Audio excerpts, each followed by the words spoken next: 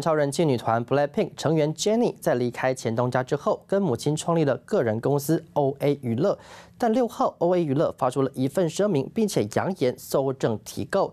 原来是日前有位自称是金亨镇的制作人即将出版小说，并且在里面声称这本书意义深刻，因为他自称自己是 Jennie 的亲生父亲，还表明这本书是记录他童年和练习生时期等等真实的经历。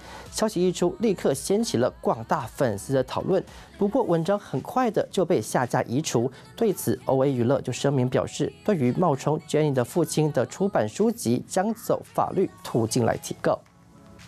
你好，我是宋彦明。想掌握最及时的新闻资讯吗？赶紧订阅、按赞、开启小铃铛，锁定华视新闻 YouTube 频道。